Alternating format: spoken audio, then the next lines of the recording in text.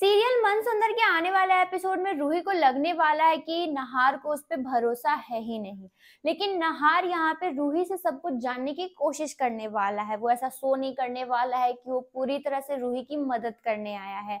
लेकिन यहाँ पे बहुत जल्द रूही को निकलवाने की कोशिश करने वाला है। लेकिन यहाँ पे अग्नि प्रेस कॉन्फ्रेंस के द्वारा पूरी दुनिया को बताने की कोशिश करने वाली है कि रूही जेल में है। आने वाले एपिसोड में रूही के पूरे परिवार को भी पता चलने वाला है कि रूही जेल में है। तो बिल्कुल भी मिस ना करें आने वाला एपिसोड।